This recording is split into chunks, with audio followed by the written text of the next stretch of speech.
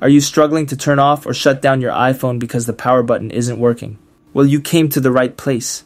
In this video, we'll show you two simple and effective methods to shut down your iPhone without using any buttons. Whether your power button is broken or you just want an alternative, then follow my steps. And by the end of this video, you're going to learn how to turn off any iPhone with only your touchscreen. Now, this will work on any iPhone model, and that includes the iPhone 16, the iPhone 15, 14, 13, and older. The first method is by shutting it down from the Settings app on our iPhone. Open the Settings and then navigate over to the General section.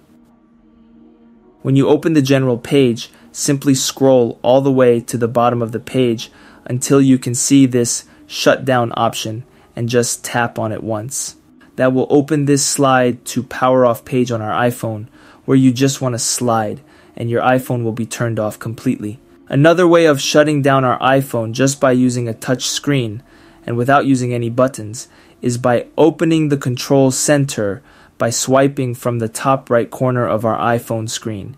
And when the control center opens, you'll want to look for a little shutdown icon which should be at the top right corner.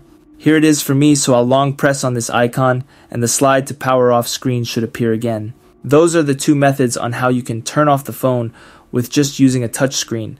And if you want to learn how to turn on your phone without the power button, then watch my other tutorial which I will leave in the description of this video.